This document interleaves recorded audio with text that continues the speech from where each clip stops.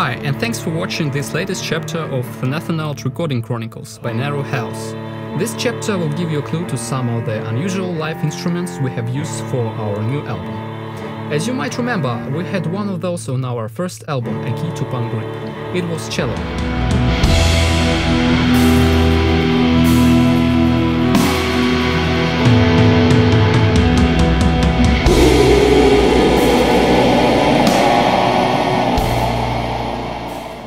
We decided to include cello to Thanathonaut as well, but at some point it became clear that cello just could not play the lowest register notes which Igor wrote for it. Uh, that's why we decided to take the bowed double bass and add it to the mix. What can I say? Worked really well.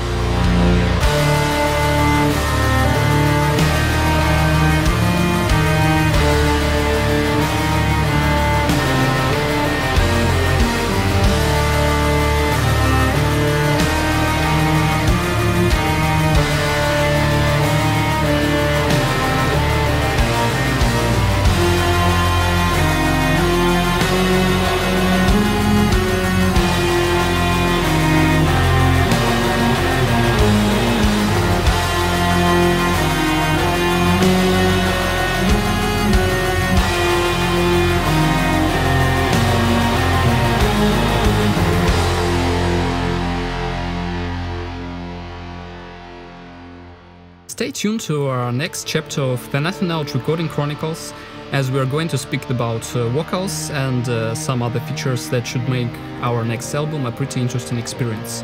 Don't forget to subscribe to our official YouTube channel. All the best, bye!